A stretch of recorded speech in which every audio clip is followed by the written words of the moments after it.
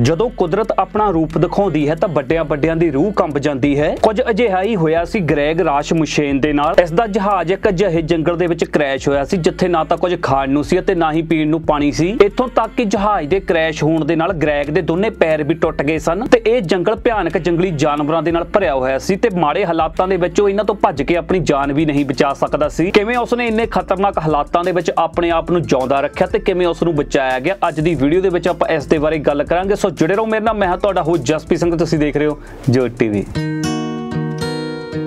ਸਾਲ 2003 ਜ਼ਿੰਬਾਬਵੇ ਦੇ ਵਿੱਚ ਗ੍ਰੈਗ ਆਪਣੇ ਪ੍ਰਾਈਵੇਟ ਪਲੇਨ ਦੇ ਨਾਲ ਹਵਾਂਗ ਨੈਸ਼ਨਲ ਪਾਰਕ ਦੇ ਵਿੱਚ ਗੈਂਡੇ ਜਾਂ ਕਈ ਰਾਈਨੋ ਨੂੰ ਲੱਭਣ ਜਾ ਰਿਹਾ ਸੀ, ਕਿਉਂਕਿ ਰਾਈਨੋ ਪਿਛਲੇ ਕੁਝ ਦਿਨਾਂ ਤੋਂ ਉਹ ਜੰਗਲ ਦੇ ਏਰੀਆ ਦੇ ਵਿੱਚ ਨਹੀਂ ਦਿਖ ਰਹੇ ਸਨ। ਅਸਲ ਦੇ ਵਿੱਚ ਇਹ ਪਾਰਕ 14000 ਸਕੁਅਰ ਕਿਲੋਮੀਟਰ ਦੇ ਏਰੀਆ ਦੇ ਵਿੱਚ ਫੈਲਿਆ ਹੋਇਆ ਹੈ, ਜਿੱਥੇ ਕੁਝ ਦੁਰਲਭ ਤਰ੍ਹਾਂ ਦੇ ਜੀਵ ਰਹਿੰਦੇ ਨੇ ਤੇ ਇਹਨਾਂ ਜੀਵਾਂ ਦੇ ਉੱਪਰ ਇਨਸਾਨੀ ਸ਼ਿਕਾਰੀਆਂ ਤੋਂ ਸ਼ਿਕਾਰ ਹੋਣ ਦਾ ਖਤਰਾ ਹਮੇਸ਼ਾ ਬਣਿਆ ਰਹਿੰਦਾ ਹੈ। ਹਵਾਂਗ ਨੈਸ਼ਨਲ ਪਾਰਕ ਪੂਰੀ ਤਰ੍ਹਾਂ ਦਾ ਜੰਗਲੀ ਏਰੀਆ ਹੈ। ਇੱਥੇ ਹਰ ਤਰ੍ਹਾਂ ਦਾ ਜੰਗਲੀ ਅਤੇ ਖਤਰਨਾਕ ਜੀਵ ਤੁਹਾਨੂੰ ਮਿਲ ਜਾਵੇਗਾ। ਇੱਥੇ ਜੰਗਲੀ ਜੀਵਾਂ ਦੀ ਸੁਰੱਖਿਆ ਦੇ ਲਈ ਗ੍ਰੈਗ ਵਰਗੇ ਬਾਇਓਲੋਜਿਸਟ ਕੰਮ ਕਰਦੇ ਨੇ। ਗ੍ਰੈਗ ਗੁੰਮ ਹੋਏ ਰਾਈਨੋ ਨੂੰ ਲੱਭਣ ਦੇ ਲਈ ਆਪਣੇ ਇੱਕ ਛੋਟੇ ਜਹਾਜ਼ ਰਾਹੀਂ ਟੇਕ ਆਫ ਕਰਦਾ ਹੈ। ਕੁਝ ਸਮੇਂ ਬਾਅਦ ਹੀ ਗ੍ਰੈਗ ਉਹ ਲੋਕੇਸ਼ਨ ਤੇ ਪਹੁੰਚ ਜਾਂਦਾ ਹੈ, ਜਿੱਥੇ ਰਾਈਨੋ ਦੇ ਹੋਣ ਦੀ ਸੰਭਾਵਨਾ ਹੁੰਦੀ ਹੈ। ਗ੍ਰੈਗ ਉਸੇ ਟਾਈਮ ਹੀ ਆਪਣੀ ਟਰੈਕਿੰਗ ਡਿਵਾਈਸ ਦੇ ਨਾਲ ਰਾਈਨੋ ਨੂੰ ਟਰੈਕ ਕਰਨ ਲੱਗ ਜਾਂਦਾ ਹੈ। ਇਹ ਜਿਹੜੀ ਟਰੈਕਿੰਗ ਡਿਵਾਈਸ ਸੀ, ਇਹ ਰਾਈਨੋ ਨੂੰ ਟਰੈਕ ਕਰਨ ਦੇ ਲਈ ਬਣਾਈ ਗਈ ਸੀ ਤਾਂ ਕਿ ਰਾਈਨੋ ਨੂੰ ਐਡੇ ਵੱਡੇ ਜੰਗਲਾਂ ਦੇ ਵਿੱਚੋਂ ਲੱਭਣਾ ਸੌਖਾ ਹੋਵੇ। ਤੇ ਕੁਝ ਸਮੇਂ ਬਾਅਦ ਹੀ ਗ੍ਰੈਗ ਨੇ ਆਪਣੀ ਟਰੈਕਿੰਗ ਡਿਵਾਈਸ ਦੇ ਨਾਲ ਰਾਈਨੋ ਨੂੰ ਲੱਭ ਲਿਆ। ਤੇ ਹੁਣ ਗ੍ਰੈਗ ਰਾਈਨੋ ਨੂੰ ਦੇਖ ਕੇ ਵਾਪਸ ਆਪਣੇ ਬੇਸ ਦੇ ਵੱਲ ਨੂੰ ਮੁੜਨ ਲੱਗਾ ਤੇ ਜਦੋਂ ਹੀ ਉਸਨੇ ਆਪਣੇ ਜਹਾਜ਼ ਨੂੰ ਬੇਸ ਵੱਲ ਨੂੰ ਮੋੜਿਆ ਤਾਂ ਉਸ ਦਾ ਇੰਜਨ ਬੰਦ ਹੋ ਗਿਆ। ਗ੍ਰੈਗ ਨੇ ਬਾਰ-ਬਾਰ ਜਹਾਜ਼ ਦੇ ਇੰਜਨ ਨੂੰ ਸਟਾਰਟ ਕਰਨ ਦੀ ਕੋਸ਼ਿਸ਼ ਕੀਤੀ, ਪਰ ਬਾਰ-ਬਾਰ ਕੋਸ਼ਿਸ਼ ਕਰਨ ਦੇ ਬਾਵਜੂਦ ਵੀ ਜਹਾਜ਼ ਦਾ ਇੰਜਨ ਸਟਾਰਟ ਨਹੀਂ ਹੋਇਆ। ਪੀੜ ਦੇ ਨਾਲ ਥੱਲੇ ਨੂੰ ਡਿੱਗਣ ਲੱਗਿਆ ਤੇ ਗ੍ਰੈਗ ਦੇ ਹੱਥ ਵੱਸ ਹੁਣ ਕੁਝ ਵੀ ਨਹੀਂ ਸੀ। ਤੇ ਕੁਝ ਹੀ ਸੈਕਿੰਡਾਂ ਦੇ ਬਾਅਦ ਜਹਾਜ਼ ਧਰਤੀ ਦੇ ਨਾਲ ਬਹੁਤ ਜ਼ੋਰ ਦੇ ਨਾਲ ਆ ਕੇ ਟਕਰਾ ਜਾਂਦਾ ਹੈ। ਜਹਾਜ਼ ਦੇ ਇੰਨੀ ਜ਼ੋਰ ਨਾਲ ਧਰਤੀ ਦੇ ਨਾਲ ਟਕਰਾਉਣ ਤੋਂ ਬਾਅਦ ਗ੍ਰੈਗ ਬੇਹੋਸ਼ ਹੋ ਜਾਂਦਾ ਹੈ। ਪਰ ਜਦੋਂ ਜਹਾਜ਼ ਦਾ ਪੈਟਰੋਲ ਗ੍ਰੈਗ ਦੇ ਮੂੰਹ ਦੇ ਉੱਪਰ ਡਿੱਗਣ ਲੱਗਦਾ ਹੈ ਤਾਂ ਉਸ ਦੀ ਵਜ੍ਹਾ ਦੇ ਨਾਲ ਇਸ ਨੂੰ ਹੋਸ਼ ਆ ਜਾਂਦਾ ਹੈ। ਖੁਦ ਨੂੰ ਜਿਉਂਦਾ ਦੇਖ ਕੇ ਗ੍ਰੈਗ ਨੂੰ ਵਿਸ਼ਵਾਸ ਨਹੀਂ ਹੋ ਰਿਹਾ ਸੀ ਕਿਉਂਕਿ ਪਾਇਲਟ ਹੋਣ ਦੇ ਨਾਤੇ ਉਹ ਇਹ ਜਾਣਦਾ ਸੀ ਕਿ ਕਿਸੇ ਜਹਾਜ਼ ਦੇ ਕ੍ਰੈਸ਼ ਹੋਣ ਤੋਂ ਬਾਅਦ ਕਿਸੇ ਦਾ ਵੀ ਬਚਣਾ ਬਹੁਤ ਜ਼ਿਆਦਾ ਮੁਸ਼ਕਲ ਹੁੰਦਾ ਹੈ। ਜ਼ਿਆਦਾਤਰ ਲੋਕਾਂ ਦੀ ਜਹਾਜ਼ ਦੇ ਕ੍ਰੈਸ਼ ਦੇ ਦੌਰਾਨ ਨਹੀਂ, ਬਲਕਿ ਕ੍ਰੈਸ਼ ਤੋਂ ਬਾਅਦ ਲੱਗਣ ਵਾਲੀ ਅੱਗ ਦੇ ਕਾਰਨ ਉਹਨਾਂ ਦੀ ਮੌਤ ਹੋ ਜਾਂਦੀ ਹੈ। ਇਹ ਸਾਰੀਆਂ ਚੀਜ਼ਾਂ ਬਾਰੇ ਗ੍ਰੈਗ ਨੂੰ ਪਤਾ ਸੀ ਤੇ ਹਜੇ ਤੱਕ ਵੀ ਗ੍ਰੈਗ ਦੇ ਜਹਾਜ਼ ਦੇ ਵਿੱਚ ਅੱਗ ਨਹੀਂ ਲੱਗੀ ਸੀ। ਹੋਸ਼ ਆਉਣ ਤੋਂ ਤੁਰੰਤ ਬਾਅਦ ਗ੍ਰੈਗ ਨੇ ਉਹ ਜਗ੍ਹਾ ਤੋਂ ਭੱਜਣ ਦੀ ਕੋਸ਼ਿਸ਼ ਕੀਤੀ, ਪਰ ਉਹ ਨਹੀਂ ਭੱਜ ਸਕਿਆ ਕਿਉਂਕਿ ਉਸ ਦੇ ਦੋਨੇ ਪੈਰਾਂ ਦੀਆਂ ਹੱਡੀਆਂ ਟੁੱਟ ਚੁੱਕੀਆਂ ਸਨ ਤੇ ਉਸ ਦੇ ਪੈਰਾਂ ਦੇ ਵਿੱਚ ਬਹੁਤ ਜ਼ੋਰ ਦੇ ਨਾਲ ਦਰਦ ਹੋ ਰਿਹਾ ਸੀ। ਪਰ ਫਿਰ ਵੀ ਗ੍ਰੈਗ ਦਰਦ ਨੂੰ ਬਰਦਾਸ਼ਤ ਕਰਦਾ ਹੋਇਆ ਰੁੜ ਰੁੜ ਕੇ ਜਹਾਜ਼ ਤੋਂ ਦੂਰ ਚਲਾ ਗਿਆ। ਪਰ ਜਹਾਜ਼ ਤੋਂ ਕੁਝ ਦੂਰ ਜਾਣ ਤੋਂ ਬਾਅਦ ਹੀ ਗ੍ਰੈਗ ਨੂੰ ਯਾਦ ਆਇਆ ਕਿ ਉਹ ਜਹਾਜ਼ ਦੇ ਵਿੱਚ ਜਿਹੜਾ ਮੌਜੂਦ ਰੇਡੀਓ ਹੈ ਉਸ ਦੇ ਸਹਾਰੇ ਉਹ ਮਦਦ ਮੰਗ ਸਕਦਾ ਹੈ। ਇਸ ਲਈ ਗ੍ਰੈਗ ਆਪਣੀ ਜਾਨ ਨੂੰ ਫਿਰ ਤੋਂ ਜੋਖਮ ਦੇ ਵਿੱਚ ਪਾਉਂਦਾ ਹੋਇਆ ਫਿਰ ਤੋਂ ਜਹਾਜ਼ ਦੇ ਕੋਲ ਆ ਜਾਂਦਾ ਹੈ। ਉਸਨੇ ਰੇਡੀਓ ਦੇ ਜ਼ਰੀਏ ਸੰਪਰਕ ਬਣਾਉਣ ਦੀ ਕੋਸ਼ਿਸ਼ ਕੀਤੀ, ਪਰ ਪਲੇਨ ਕ੍ਰੈਸ਼ ਹੋਣ ਦੇ ਨਾਲ ਉਸ ਦਾ ਰੇਡੀਓ ਵੀ ਖਰਾਬ ਹੋ ਚੁੱਕਿਆ ਸੀ। ਉਸ ਸਮੇਂ ਪਲੇਨ ਦੇ ਵਿੱਚ ਨਾ ਤਾਂ ਕੋਈ ਖਾਣ ਦੀ ਚੀਜ਼ ਸੀ ਅਤੇ ਨਾ ਹੀ ਪੀਣ ਦੇ ਲਈ ਪਾਣੀ ਸੀ। ਕੁਝ ਸਮੇਂ ਬਾਅਦ ਹੀ ਗ੍ਰੈਗ ਦੇ ਪੈਰਾਂ ਦੇ ਵਿੱਚ ਫਿਰ ਤੋਂ ਦਰਦ ਹੋਣਾ ਸ਼ੁਰੂ ਹੋ ਗਿਆ। ਇਹ ਦਰਦ ਇੰਨਾ ਭਿਆਨਕ ਸੀ ਕਿ ਗ੍ਰੈਗ ਆਪਣੇ ਪੈਰਾਂ ਦੇ ਵਿੱਚ ਪਾਏ ਹੋਏ ਬੂਟਾਂ ਤੋਂ ਵੀ ਤੰਗ ਆ ਗਿਆ ਸੀ। ਉਹ ਮਦਦ ਦੇ ਲਈ ਇੱਧਰ ਉੱਧਰ ਦੇਖਣ ਲੱਗਿਆ, ਪਰ ਦੂਰ ਦੂਰ ਤੱਕ ਉਸ ਨੂੰ ਕੋਈ ਵੀ ਇਨਸਾਨ ਨਹੀਂ ਦਿਖਾਈ ਦਿੱਤਾ। ਆਪਣੇ ਤੋਂ ਕੁਝ ਦੂਰ ਗ੍ਰੈਗ ਨੂੰ ਇੱਕ ਛੋਟਾ ਜਿਹਾ ਦਰਖਤ ਦਿਖਾਈ ਦਿੱਤਾ ਤੇ ਉਹ ਕਿਸੇ ਤਰ੍ਹਾਂ ਘਿਸੜ ਘਿਸੜ ਕੇ ਉਸ ਦਰਖਤ ਦੇ ਨਾਲ ਆਪਣੀ ਪਿੱਠ ਲਗਾ ਕੇ ਬੈਠ ਗਿਆ। ਪਰ ਉਸ ਦਰਖਤ ਦੇ ਉੱਤੇ ਕਾਫੀ ਜ਼ਿਆਦਾ ਕੰਡੇ ਲੱਗੇ ਸਨ ਤੇ ਉਹ ਕੰਡੇ ਗ੍ਰੈਗ ਦੀ ਪਿੱਠ ਦੇ ਵਿੱਚ ਵੀ ਚੁੱਭ ਗਏ। ਪਰ ਇਸ ਦੇ ਬਾਵਜੂਦ ਵੀ ਗ੍ਰੈਗ ਉਹ ਦਰਖਤ ਦੇ ਨਾਲ ਪਿੱਠ ਲਗਾ ਕੇ ਬੈਠਾ ਰਿਹਾ ਤੇ ਉਸਨੇ ਉਹ ਦਰਖਤ ਦੀ ਟਾਹਣੀ ਤੋੜ ਕੇ ਆਪਣੇ ਬੂਟ ਦੇ ਫੀਤੇ ਖੋਲਣ ਦੀ ਕੋਸ਼ਿਸ਼ ਕੀਤੀ ਤੇ ਕੁਝ ਟਾਈਮ ਕੋਸ਼ਿਸ਼ ਕਰਨ ਤੋਂ ਬਾਅਦ ਗ੍ਰੈਗ ਆਪਣੇ ਬੂਟ ਦੇ ਫੀਤੇ ਜਾਂ ਕਹੀਏ ਲੇਜ਼ ਖੋਲਣ ਦੇ ਵਿੱਚ ਕਾਮਯਾਬ ਹੋ ਗਿਆ। ਪਰ ਹੁਣ ਉਸਦੇ ਪੈਰਾਂ ਦੇ ਵਿੱਚ ਬਹੁਤ ਜ਼ਿਆਦਾ ਦਰਦ ਹੋ ਰਿਹਾ ਸੀ ਕਿਉਂਕਿ ਪੈਰਾਂ ਦੀਆਂ ਹੱਡੀਆਂ ਟੁੱਟ ਜਾਣ ਦੇ ਕਾਰਨ ਉਸਦੇ ਪੈਰ ਹੁਣ ਸੁੱਜ ਚੁੱਕੇ ਸਨ, ਜਿਸ ਦੇ ਕਾਰਨ ਉਸਦੇ ਬੂਟ ਹੁਣ ਪੈਰਾਂ ਦੇ ਵਿੱਚ ਬੁਰੀ ਤਰ੍ਹਾਂ ਦੇ ਨਾਲ ਫਸ ਗਏ ਸਨ। ਪਰ ਫਿਰ ਵੀ ਗ੍ਰੈਗ ਨੇ ਉਹਨਾਂ ਬੂਟਾਂ ਨੂੰ ਲਾਉਣ ਦੀ ਕਾਫੀ ਜ਼ਿਆਦਾ ਕੋਸ਼ਿਸ਼ ਕੀਤੀ। ਉਸ ਸਮੇਂ ਗ੍ਰੈਗ ਨੂੰ ਯਾਦ ਆਇਆ ਕਿ ਕਈ ਲੋਕ ਦਰਦ ਨੂੰ ਬਰਦਾਸ਼ਤ ਕਰਨ ਦੇ ਲਈ ਆਪਣੇ ਮੂੰਹ ਦੇ ਵਿੱਚ ਕੁਝ ਰੱਖ ਲੈਂਦੇ ਨੇ। ਇਹ ਸੋਚ ਕੇ ਗ੍ਰੈਗ ਨੇ ਆਪਣੇ ਮੂੰਹ ਦੇ ਵਿੱਚ ਇੱਕ ਲੱਕੜ ਦਾ ਟੁਕੜਾ ਰੱਖ ਲਿਆ। ਪਰ ਜਿਵੇਂ ਹੀ ਉਸਦੇ ਬੂਟ ਲਾਉਂਦੇ ਸਮੇਂ ਦਰਦ ਹੋਇਆ, ਤਾਂ ਉਸ ਸਮੇਂ ਉਸਦੇ ਮੂੰਹ ਦੇ ਵਿੱਚ ਜਿਹੜੀ ਲੱਕੜ ਪਾਈ ਸੀ, ਗ੍ਰੈਗ ਨੇ ਉਹ ਲੱਕੜ ਚੱਬ ਦਿੱਤੀ। ਇੱਥੇ ਵੀ ਗ੍ਰੈਗ ਦੀ ਮਾੜੀ ਕਿਸਮਤ ਇਹ ਰਹੀ ਕਿ ਉਸਨੇ ਜਿਹੜੀ ਲੱਕੜ ਆਪਣੇ ਮੂੰਹ ਦੇ ਵਿੱਚ ਪਾਈ ਸੀ, ਉਹ ਗਲੀ ਸਲੀ ਲੱਕੜ ਸੀ ਤੇ ਉਸ ਦੇ ਵਿੱਚ ਸਿਉਂਕ ਲੱਗੀ ਸੀ। ਗ੍ਰੈਗ ਲਗਾਤਾਰ ਕੋਸ਼ਿਸ਼ ਕਰਦਾ ਰਿਹਾ ਤੇ ਉਸਨੇ ਕਿਸੇ ਤਰ੍ਹਾਂ ਆਪਣੇ ਬੂਟ ਉਤਾਰ ਦਿੱਤੇ, ਪਰ ਇਹਨਾਂ ਬੂਟਾਂ ਨੂੰ ਉਤਾਰਨ ਦੇ ਵਿੱਚ ਉਸਦੇ 2 ਘੰਟੇ ਲੱਗ ਗਏ ਸਨ। ਪਰ ਹੁਣ ਦੁਪਹਿਰ ਹੋ ਚੁੱਕੀ ਸੀ ਤੇ ਧੁੱਪ ਦੀ ਵਜ੍ਹਾ ਦੇ ਨਾਲ ਉਸ ਨੂੰ ਕਾਫੀ ਜ਼ਿਆਦਾ ਪਿਆਸ ਲੱਗ ਰਹੀ ਸੀ, ਪਰ ਉਸਦੇ ਕੋਲ ਨਾ ਤਾਂ ਕੁਝ ਖਾਣ ਨੂੰ ਸੀ ਤੇ ਨਾ ਹੀ ਪੀਣ ਦੇ ਲਈ ਪਾਣੀ ਸੀ। ਉੱਥੇ ਹੀ ਉਸ ਤੋਂ 350 ਕਿਲੋਮੀਟਰ ਦੂਰ ਗ੍ਰੈਗ ਦਾ ਦੋਸਤ ਪੀਟਰ ਉਸਦੇ ਵਾਪਸ ਆਉਣ ਦਾ ਇੰਤਜ਼ਾਰ ਕਰ ਰਿਹਾ ਸੀ। ਇਹ ਦੋਨੇ ਅਫਰੀਕਨ ਡੌਗ ਨੂੰ ਬਚਾਉਣ ਦੇ ਪ੍ਰੋਜੈਕਟ ਦੇ ਵਿੱਚ ਇਕੱਠੇ ਕੰਮ ਕਰਦੇ ਸਨ। ਉਦੋਂ ਹੀ ਪੀਟਰ ਨੂੰ ਫੋਨ ਆਉਂਦਾ ਹੈ ਤੇ ਉਸ ਨੂੰ ਦੱਸਿਆ ਜਾਂਦਾ ਹੈ ਕਿ ਗ੍ਰੈਗ ਸਵੇਰ ਤੋਂ ਮਿਸਿੰਗ ਹੈ, ਉਹ ਰਾਈਨੋ ਨੂੰ ਲੱਭਣ ਦੇ ਲਈ ਪਲੇਨ ਲੈ ਕੇ ਗਿਆ ਸੀ, ਪਰ ਹਲੇ ਤੱਕ ਵਾਪਸ ਨਹੀਂ ਆਇਆ। ਇਹ ਸੁਣ ਕੇ ਉਸੇ ਟਾਈਮ ਹੀ ਉਸ ਦਾ ਦੋਸਤ ਪੀਟਰ ਗ੍ਰੈਗ ਨੂੰ ਲੱਭਣ ਦੇ ਲਈ ਆਪਣੀ ਕਾਰ ਲੈ ਕੇ ਨਿਕਲ ਜਾਂਦਾ ਹੈ। ਉੱਥੇ ਹੀ ਦੂਜੇ ਪਾਸੇ ਗ੍ਰੈਗ ਆਪਣੇ ਆਪ ਨੂੰ ਤਪਦੀ ਧੁੱਪ ਦੇ ਵਿੱਚ ਜਿਉਂਦਾ ਰੱਖਣ ਦੀ ਕੋਸ਼ਿਸ਼ ਕਰ ਰਿਹਾ ਸੀ। ਉਦੋਂ ਹੀ ਗ੍ਰੈਗ ਨੇ ਦੇਖਿਆ ਕਿ ਉਸ ਤੋਂ ਕੁਝ ਦੂਰੀ ਤੇ ਇੱਕ ਗਿੱਧ ਬੈਠਾ ਹੋਇਆ ਹੈ, ਜਿਹੜਾ ਕਿ ਉਸ ਦੇ ਮਰਨ ਦਾ ਇੰਤਜ਼ਾਰ ਕਰ ਰਿਹਾ ਹੈ। ਗ੍ਰੈਗ ਮਨ ਹੀ ਮਨ ਇਸ ਗੱਲ ਤੋਂ ਵੀ ਡਰ ਰਿਹਾ ਸੀ, ਕਿਉਂਕਿ ਉਸ ਨੂੰ ਪਤਾ ਸੀ ਕਿ ਜੇਕਰ ਸ਼ਾਮ ਹੋਣ ਤੱਕ ਕਿਸੇ ਨੇ ਉਸ ਨੂੰ ਨਾ ਬਚਾਇਆ, ਤਾਂ ਇਸ ਜੰਗਲ ਦੇ ਵਿੱਚ ਬਹੁਤ ਜ਼ਿਆਦਾ ਖਤਰਨਾਕ ਜੀਵ ਰਹਿੰਦੇ ਨੇ ਤੇ ਉਹ ਰਾਤ ਨੂੰ ਮੈਨੂੰ ਨਹੀਂ ਛੱਡਣਗੇ। ਤੇ ਆਪਣੇ ਆਪ ਨੂੰ ਸੁਰੱਖਿਅਤ ਰੱਖਣ ਦੇ ਲਈ ਗ੍ਰੈਗ ਫਿਰ ਤੋਂ ਰੜ ਕੇ ਜਹਾਜ਼ ਦੇ ਮਲਬੇ ਦੇ ਕੋਲ ਚਲਿਆ ਜਾਂਦਾ ਹੈ ਤੇ ਰਾਤ ਹੋਣ ਦਾ ਇੰਤਜ਼ਾਰ ਕਰਨ ਲੱਗ ਜਾਂਦਾ ਹੈ। ਉਸੇ ਟਾਈਮ ਗ੍ਰੈਗ ਨੇ ਮਹਿਸੂਸ ਕੀਤਾ ਕਿ ਕੋਈ ਜਾਨਵਰ ਉਸ ਵੱਲ ਆ ਰਿਹਾ ਹੈ ਕਿਉਂਕਿ ਗ੍ਰੈਗ ਇੱਕ ਪਾਇਲਟ ਹੋਣ ਦੇ ਨਾਲ ਨਾਲ ਇੱਕ ਬਾਇਓਲੋਜਿਸਟ ਵੀ ਸੀ। ਇੰਨੇ ਟਾਈਮ ਤੋਂ ਜੰਗਲਾਂ ਦੇ ਵਿੱਚ ਕੰਮ ਕਰਦਾ ਹੋਣ ਕਰਕੇ ਉਹ ਜਾਨਵਰਾਂ ਦੀ ਪੈੜ ਚਾਲ ਤੋਂ ਹੀ ਪਹਿਚਾਣ ਲੈਂਦਾ ਸੀ ਕਿ ਉਹ ਕਿਹੜਾ ਜੀਵ ਹੈ। ਗ੍ਰੈਗ ਨੇ ਜਦੋਂ ਪਿੱਛੇ ਮੁੜ ਕੇ ਦੇਖਿਆ ਤਾਂ ਉਹ ਹੈਰਾਨ ਰਹਿ ਗਿਆ ਕਿ ਉਸ ਦੇ ਪਿੱਛੇ ਹਾਥੀਆਂ ਦਾ ਇੱਕ ਪੂਰਾ ਝੁੰਡ ਆ ਰਿਹਾ ਸੀ। ਗ੍ਰੈਗ ਨੂੰ ਇਹ ਚੀਜ਼ ਪੂਰੀ ਚੰਗੀ ਤਰ੍ਹਾਂ ਦੇ ਨਾਲ ਪਤਾ ਸੀ ਕਿ ਜੇਕਰ ਕਿਸੇ ਚੀਜ਼ ਨੂੰ ਹਾਥੀ ਪਹਿਲਾਂ ਦੇਖ ਲਵੇ ਤਾਂ ਹਾਥੀ ਉਸ ਨੂੰ ਨੁਕਸਾਨ ਨਹੀਂ ਪਹੁੰਚਾਉਂਦਾ। ਉੱਥੇ ਹੀ ਜੇਕਰ ਹਾਥੀ ਕਿਸੇ ਨੂੰ ਅਚਾਨਕ ਦੇਖ ਲਵੇ ਤਾਂ ਉਹ ਡਰ ਕੇ ਉਸ ਦੇ ਉੱਪਰ ਹਮਲਾ ਕਰਕੇ ਉਸ ਨੂੰ ਮਾਰ ਵੀ ਸਕਦਾ ਹੈ। ਇਸ ਲਈ ਗ੍ਰੈਗ ਬਿਲਕੁਲ ਸ਼ਾਂਤ ਬਹਿ ਕੇ ਹਾਥੀਆਂ ਦੇ ਆਉਣ ਦੀ ਵੇਟ ਕਰਨ ਲੱਗਾ। ਇਹਦੇ ਗ੍ਰੈਗ ਦੀ ਚੰਗੀ ਕਿਸਮਤ ਸੀ ਕਿ ਹਾਥੀਆਂ ਦਾ ਝੁੰਡ ਉਸ ਨੂੰ ਬਿਨਾਂ ਨੁਕਸਾਨ ਪਹੁੰਚਾਏ ਉਸ ਦੇ ਕੋਲ ਦੀ ਲੰਘ ਗਿਆ। ਤੇ ਗ੍ਰੈਗ ਦਾ ਦੋਸਤ ਪੀਟਰ ਉਸ ਨੂੰ ਲੱਭਣ ਦੇ ਲਈ ਪਾਰਕ ਦੇ ਵਿੱਚ ਇੱਧਰ ਉੱਧਰ ਕਾਰ ਲੈ ਕੇ ਘੁੰਮ ਰਿਹਾ ਸੀ। ਪਰ ਹਵਾਂਗ ਨੈਸ਼ਨਲ ਪਾਰਕ 14000 ਕਿਲੋਮੀਟਰ ਦੇ ਏਰੀਆ ਦੇ ਵਿੱਚ ਫੈਲਿਆ ਹੋਇਆ ਹੈ ਤੇ ਇੰਨੇ ਲੰਬੇ ਚੌੜੇ ਏਰੀਆ ਦੇ ਵਿੱਚੋਂ ਕਿਸੇ ਨੂੰ ਲੱਭਣਾ, ਤੂੜੀ ਦੇ ਵਿੱਚੋਂ ਸੂਈ ਲੱਭਣ ਦੇ ਬਰਾਬਰ ਹੈ। ਪਰ ਇਸ ਦੇ ਬਾਵਜੂਦ ਵੀ ਪੀਟਰ ਆਪਣੇ ਦੋਸਤ ਨਾਰਮਲ ਦੇ ਨਾਲ ਗ੍ਰੈਗ ਨੂੰ ਲੱਭ ਰਿਹਾ ਸੀ, ਪੀਟਰ ਨੂੰ ਇਹ ਚੰਗੀ ਤਰ੍ਹਾਂ ਨਾਲ ਪਤਾ ਸੀ ਕਿ ਜੇਕਰ ਅਸੀਂ ਰਾਈਨੋ ਨੂੰ ਲੱਭ ਲੈਂਦੇ ਹਾਂ ਤਾਂ ਸਾਨੂੰ ਗ੍ਰੈਗ ਵੀ ਮਿਲ ਜਾਵੇਗਾ। ਇਸ ਲਈ ਸਾਨੂੰ ਰਾਈਨੋ ਨੂੰ ਸਭ ਤੋਂ ਪਹਿਲਾਂ ਲੱਭਣਾ ਪਵੇਗਾ। ਰਾਈਨੋ ਨੂੰ ਟਰੈਕ ਕਰਨ ਵਾਲੀ ਡਿਵਾਈਸ ਗ੍ਰੈਗ ਆਪਣੇ ਨਾਲ ਹੀ ਜਹਾਜ਼ ਦੇ ਵਿੱਚ ਲੈ ਗਿਆ ਸੀ ਤੇ ਬਿਨਾਂ ਟਰੈਕਿੰਗ ਡਿਵਾਈਸ ਤੋਂ ਰਾਈਨੋ ਨੂੰ ਲੱਭਣਾ ਬਹੁਤ ਜ਼ਿਆਦਾ ਮੁਸ਼ਕਲ ਸੀ। ਉਹਨਾਂ ਨੇ 에ਅਰ ਸਰਚ ਵੀ ਸ਼ੁਰੂ ਕਰ ਦਿੱਤੀ, ਪਰ ਗ੍ਰੈਗ ਕਿਸੇ ਨੂੰ ਵੀ ਨਹੀਂ ਮਿਲਿਆ। ਪੀਟਰ ਨੂੰ ਇਹ ਚੰਗੀ ਤਰ੍ਹਾਂ ਨਾਲ ਪਤਾ ਸੀ ਕਿ ਜੇਕਰ ਗ੍ਰੈਗ ਕਿਸੇ ਵੀ ਤਰ੍ਹਾਂ ਨਾਲ ਪਲੇਨ ਕ੍ਰੈਸ਼ ਹੋਣ ਤੋਂ ਬਾਅਦ ਬਚ ਵੀ ਜਾਂਦਾ ਹੈ, ਤਾਂ ਵੀ ਉਸ ਦੇ ਕੋਲ ਜਿਉਂਦੇ ਰਹਿਣ ਲਈ ਜ਼ਿਆਦਾ ਸਮਾਂ ਨਹੀਂ ਹੈ, ਕਿਉਂਕਿ ਰਾਤ ਨੂੰ ਜੰਗਲੀ ਜਾਨਵਰ ਉਸ ਨੂੰ ਜਿਉਂਦਾ ਨਹੀਂ ਛੱਡਣਗੇ। ਉੱਥੇ ਹੀ ਗ੍ਰੈਗ ਕ੍ਰੈਸ਼ ਹੋਏ ਪਲੇਨ ਦੀ ਛਾਂ ਦੇ ਵਿੱਚ ਪਿਆ ਸੀ। ਉੱਥੇ ਹੀ ਗ੍ਰੈਗ ਨੂੰ ਫਿਰ ਤੋਂ ਕਿਸੇ ਜਾਨਵਰ ਦੇ ਪੈਰਾਂ ਦੀ ਆਹਟ ਸੁਣਾਈ ਦਿੱਤੀ। ਗ੍ਰੇਗ ਨੇ ਝੱਟ ਦੇਣੇ ਪੈਰਾਂ ਦੀ ਆਹਟ ਨੂੰ ਪਹਿਚਾਨ ਲਿਆ ਤੇ ਉਹ ਸਮਝ ਗਿਆ ਕਿ ਸ਼ੇਰ ਦੇ ਪੈਰਾਂ ਦੀ ਆਹਟ ਹੈ ਤੇ ਉਹ ਸ਼ੇਰ ਉਸ ਵੱਲ ਵੱਧ ਰਿਹਾ ਹੈ। ਹੁਣ ਗ੍ਰੈਗ ਬਹੁਤ ਜ਼ਿਆਦਾ ਧਿਆਨ ਦੇ ਨਾਲ ਸ਼ੇਰ ਦੀ ਪੈੜ ਚਾਲ ਨੂੰ ਸੁਣਨ ਲੱਗਾ। ਥੋੜੇ ਸਕਿੰਟਾਂ ਬਾਅਦ ਹੀ ਗ੍ਰੈਗ ਨੂੰ ਪਤਾ ਲੱਗ ਗਿਆ ਕਿ ਉਹ ਇੱਕ ਸ਼ੇਰ ਨਹੀਂ, ਬਲਕਿ ਸ਼ੇਰਨੀ ਹੈ। ਕਾਫੀ ਲੰਬੇ ਸਮੇਂ ਤੋਂ ਜੰਗਲ ਦੇ ਵਿੱਚ ਰਹਿੰਦਾ ਹੋਣ ਕਰਕੇ ਗ੍ਰੈਗ ਜਾਣਦਾ ਸੀ ਕਿ ਇਹਨਾਂ ਖਤਰਨਾਕ ਜੰਗਲੀ ਜੀਵਾਂ ਤੋਂ ਕਿਸ ਤਰ੍ਹਾਂ ਬਚਿਆ ਜਾ ਸਕਦਾ ਹੈ। ਅਸਲ ਦੇ ਵਿੱਚ ਜੰਗਲੀ ਜੀਵ ਇੱਕਦਮ ਆਉਣ ਵਾਲੀ ਆਵਾਜ਼ ਤੋਂ ਡਰ ਕੇ ਭੱਜ ਜਾਂਦੇ ਨੇ ਤੇ ਗ੍ਰੈਗ ਇਸ ਕਰਕੇ ਹੀ ਸਹੀ ਮੌਕੇ ਦਾ ਇੰਤਜ਼ਾਰ ਕਰਨ ਲੱਗਾ। ਜਿਵੇਂ ਹੀ ਗ੍ਰੈਗ ਨੇ ਦੇਖਿਆ ਕਿ ਸ਼ੇਰਨੀ ਉਸ ਦੇ ਨੇੜੇ ਆ ਗਈ ਹੈ, ਤਾਂ ਉਹ ਜ਼ੋਰ-ਜ਼ੋਰ ਦੇ ਨਾਲ ਡੰਡੇ ਨੂੰ ਜਹਾਜ਼ ਦੇ ਮਲਬੇ ਤੇ ਮਾਰਨ ਲੱਗਾ ਤੇ ਇੰਨੀ ਤੇਜ਼ ਆਵਾਜ਼ ਆਉਣ ਦੇ ਕਾਰਨ ਸ਼ੇਰਨੀ ਇੱਕਦਮ ਡਰ ਕੇ ਉੱਥੋਂ ਭੱਜ ਗਈ। ਪਰ ਇਹ ਤਾਂ ਜੰਗਲ ਦੇ ਵਿੱਚ ਸਿਰਫ ਇੱਕ ਸ਼ਾਮ ਹੋਣ ਦੀ ਸ਼ੁਰੂਆਤ ਸੀ, ਰਾਤ ਤਾਂ ਹਜੇ ਹੋਣੀ ਸੀ, ਕਿਉਂਕਿ ਜ਼ਿਆਦਾਤਰ ਜੰਗਲ ਦੇ ਵਿੱਚ ਜਾਨਵਰ ਰਾਤ ਨੂੰ ਹੀ ਸ਼ਿਕਾਰ ਕਰਦੇ ਨੇ। ਉੱਥੇ ਹੀ ਸ਼ਾਮ ਹੋਣ ਦੇ ਕਾਰਨ ਗ੍ਰੈਗ ਨੂੰ ਲੱਭਣ ਵਾਲਾ ਜਹਾਜ਼ ਵੀ ਵਾਪਸ ਮੁੜਨ ਲੱਗਾ ਤੇ ਇਸ ਵਾਪਸ ਮੁੜ ਰਹੇ ਜਹਾਜ਼ ਦੀ ਆਵਾਜ਼ ਵੀ ਗ੍ਰੈਗ ਨੂੰ ਸੁਣਾਈ ਦਿੱਤੀ। ਗ੍ਰੈਗ ਇਹ ਜਹਾਜ਼ ਨੂੰ ਦੇਖ ਕੇ ਜ਼ੋਰ-ਜ਼ੋਰ ਦੀਆਂ ਆਵਾਜ਼ਾਂ ਮਾਰਨ ਲੱਗਿਆ, ਪਰ ਇਹ ਜਹਾਜ਼ ਨੇ ਗ੍ਰੈਗ ਨੂੰ ਨਹੀਂ ਦੇਖਿਆ ਤੇ ਉੱਥੋਂ ਵਾਪਸ ਚਲਿਆ ਗਿਆ। ਗ੍ਰੈਗ ਇਹ ਸਭ ਕੁਝ ਦੇਖ ਕੇ ਕਾਫੀ ਜ਼ਿਆਦਾ ਨਿਰਾਸ਼ ਹੋ ਗਿਆ, ਕਿਉਂਕਿ ਹੁਣ ਉਸ ਨੂੰ ਪਤਾ ਸੀ ਕਿ ਸਵੇਰ ਹੋਣ ਤੱਕ ਉੱਥੇ ਕੋਈ ਵੀ ਨਹੀਂ ਆਵੇਗਾ। ਸ਼ਾਮ ਦੇ 6 ਵਜੇ ਤੱਕ ਪੀਟਰ ਤੇ ਉਸ ਦਾ ਦੋਸਤ ਵੀ ਗ੍ਰੈਗ ਨੂੰ ਲੱਭਦੇ ਹੋਏ ਵਾਪਸ ਬੇਸ ਦੇ ਉੱਪਰ ਚਲੇ ਗਏ। ਕੁਝ ਸਮੇਂ ਬਾਅਦ ਹੀ ਰਾਤ ਹੋ ਗਈ ਤੇ ਜਿਵੇਂ ਹੀ ਰਾਤ ਹੋਈ, ਗ੍ਰੈਗ ਪਹਿਲਾਂ ਦੇ ਨਾਲੋਂ ਵੀ ਜ਼ਿਆਦਾ ਚਕੰਨਾ ਹੋ ਗਿਆ। ਰਾਤ ਨੂੰ ਭੇੜੀਏ ਪਿੱਛੇ ਤੋਂ ਹਮਲਾ ਕਰਨ ਦੇ ਵਿੱਚ ਮਾਹਰ ਹੁੰਦੇ ਨੇ, ਇਸ ਲਈ ਗ੍ਰੈਗ ਨੂੰ ਸਭ ਤੋਂ ਜ਼ਿਆਦਾ ਡਰ ਹੁਣ ਭੇੜੀਆਂ ਤੋਂ ਲੱਗ ਰਿਹਾ ਸੀ। ਤੇ ਗ੍ਰੈਗ ਨੇ ਕਿਸੇ ਤਰ੍ਹਾਂ ਡਰਦੇ ਡਰਦੇ ਨੇ ਸਾਰੀ ਰਾਤ ਕੱਢ ਲਈ। ਇਸ ਤਰ੍ਹਾਂ ਸਵੇਰ ਦੇ 4 ਵੱਜ ਕੇ ਤੇ ਗ੍ਰੈਗ ਨੇ ਮਹਿਸੂਸ ਕੀਤਾ ਕਿ ਇੱਕ ਲੱਕੜ ਬੱਗਾ ਉਸ ਦੇ ਵੱਲ ਆ ਰਿਹਾ ਹੈ। ਤੇ ਗ੍ਰੈਗ ਨੇ ਫਿਰ ਤੋਂ ਆਪਣੀ ਪੁਰਾਣੀ ਤਕਨੀਕ ਵਰਤੀ, ਜਿਵੇਂ ਹੀ ਲੱਕੜ ਬੱਗਾ ਉਸ ਦੇ ਕੋਲ ਆਇਆ, ਉਹ ਜ਼ੋਰ-ਜ਼ੋਰ ਦੀ ਆਵਾਜ਼ ਕਰਨ ਲੱਗਾ, ਜਿਸ ਤੋਂ ਲੱਕੜ ਬੱਗਾ ਡਰ ਕਰਕੇ ਉੱਥੋਂ ਭੱਜ ਗਿਆ। ਕੁਝ ਸਮੇਂ ਬਾਅਦ ਹੀ ਸਵੇਰ ਦਾ ਸੂਰਜ ਚੜ੍ਹਨ ਲੱਗਾ ਤੇ ਗ੍ਰੈਗ ਨੇ ਇੰਨੀ ਜ਼ਿਆਦਾ ਜ਼ਖਮੀ ਹਾਲਤ ਵਿੱਚ ਤੇ ਇੰਨੇ ਭਿਆਨਕ ਜੰਗਲ ਦੇ ਵਿੱਚ ਕਿਸੇ ਤਰ੍ਹਾਂ ਦੇ ਨਾਲ ਰਾਤ ਕੱਟ ਲਈ ਸੀ। ਤੇ ਗ੍ਰੈਗ ਨੂੰ ਹੁਣ ਇਹ ਵੀ ਪਤਾ ਸੀ ਕਿ ਜੇਕਰ ਉਸ ਨੂੰ ਅੱਜ ਨਾ ਬਚਾਇਆ ਗਿਆ ਤਾਂ ਉਹ ਭੁੱਖ ਤੇ ਪਿਆਸ ਦੇ ਨਾਲ ਦੁਪਹਿਰ ਤੱਕ ਹੀ ਮਰ ਜਾਵੇਗਾ। ਤੇ ਸਵੇਰ ਦੇ 7 ਵਜੇ ਗ੍ਰੈਗ ਨੂੰ ਲੱਭਣ ਦੇ ਲਈ ਫਿਰ ਤੋਂ ਇੱਕ ਜਹਾਜ਼ ਉੱਡਿਆ। ਇਹ ਜਹਾਜ਼ ਕਾਫੀ ਸਮੇਂ ਤੱਕ ਗ੍ਰੈਗ ਨੂੰ ਲੱਭਦਾ ਰਿਹਾ। ਹੁਣ ਕੁਦਰਤੀ ਇਹ ਜਹਾਜ਼ ਉਧਰਲੀ ਸਾਈਡ ਨੂੰ ਹੀ ਚੱਲ ਪਿਆ, ਜਿੱਧਰ ਗ੍ਰੈਗ ਦਾ ਜਹਾਜ਼ ਕ੍ਰੈਸ਼ ਹੋਇਆ ਸੀ। ਕ੍ਰੈਸ਼ ਹੋਏ ਜਹਾਜ਼ ਦੇ ਕੋਲ ਪਿਆ ਗ੍ਰੈਗ ਹੁਣ ਟੁੱਟੇ ਹੋਏ ਸ਼ੀਸ਼ੇ ਦੇ ਉੱਪਰ ਆਪਣੀ ਜੀਭ ਫੇਰ ਰਿਹਾ ਸੀ ਤਾਂ ਕਿ ਰਾਤ ਦੀ ਪਈ ਤਰੇਲ ਨੂੰ ਉਹ ਚੱਟ ਸਕੇ। ਕਿਉਂਕਿ ਉਸ ਨੂੰ ਪਿਆਸ ਲੱਗੀ ਸੀ। ਉੱਥੇ ਹੀ ਗ੍ਰੈਗ ਨੂੰ ਜਦੋਂ ਜਹਾਜ਼ ਦੀ ਆਵਾਜ਼ ਸੁਣਾਈ ਦਿੱਤੀ ਤਾਂ ਉਸਨੇ ਇੱਕ ਸਟੀਲ ਦੀ ਪਾਈਪ ਫੜ ਕੇ ਉਸ ਨੂੰ ਹਵਾ ਦੇ ਵਿੱਚ ਲਹਿਰਾਉਣਾ ਸ਼ੁਰੂ ਕਰ ਦਿੱਤਾ ਤੇ ਜਿਵੇਂ ਹੀ ਪਾਇਲਟ ਨੂੰ ਕੋਈ ਜ਼ਮੀਨ ਦੇ ਉੱਪਰ ਚਮਕਦੀ ਚੀਜ਼ ਦਿਖਾਈ ਦਿੱਤੀ, ਉਦੋਂ ਹੀ ਉਸਨੇ ਰੈਸਕਿਊ ਟੀਮ ਨੂੰ ਉਹ ਲੋਕੇਸ਼ਨ ਭੇਜ ਦਿੱਤੀ। ਕਿਉਂਕਿ ਉਹ ਜਗ੍ਹਾ ਉੱਬੜ ਖਾਬੜ ਹੋਣ ਦੇ ਕਾਰਨ ਪਲੇਨ ਉਸ ਜਗ੍ਹਾ ਦੇ ਉੱਪਰ ਲੈਂਡ ਨਹੀਂ ਕਰ ਸਕਦਾ ਸੀ।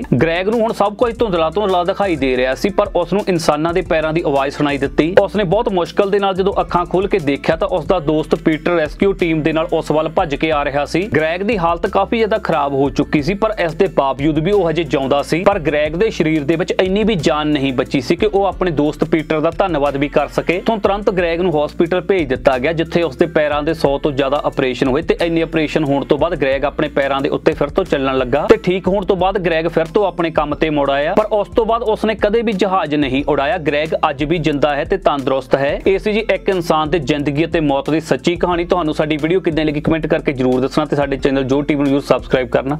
ਧੰਨਵਾਦ।